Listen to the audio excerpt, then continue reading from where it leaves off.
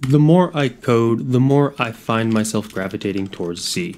The newer languages with more features, way more features, just don't enrapture me in the same way. There's so much going on, so many clever ways to implement a function that it turns into a blurry deluge of information. So that's why I'm not really interested in new languages. But why C specifically? I love C because of how elegantly it arises from the underlying technology. A computer is just a bunch of digital logic connected to memory elements. It's directly controlled using binary machine code.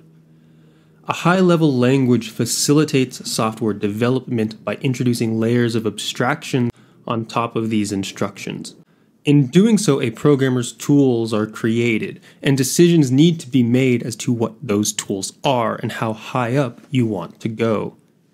C captures the beauty of the underlying mechanisms. For me, it's similar to admiring a well made mechanical watch. Each component is a precision instrument performing its role exactly as intended, each component providing the motive force for the next module. That said, when you're using a watch, and when you're using a high level language, you don't want the tedium of controlling all these parts by hand. That's why we use for loops, if else branching functions.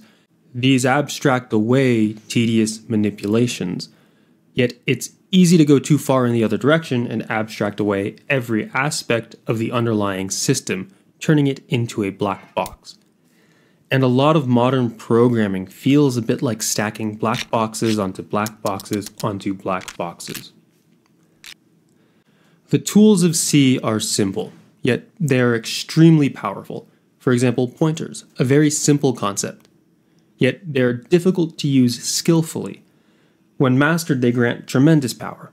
A program that uses pointers well is shockingly elegant and evokes the pleasure of mastery, a satisfaction that comes from applying a difficult skill well.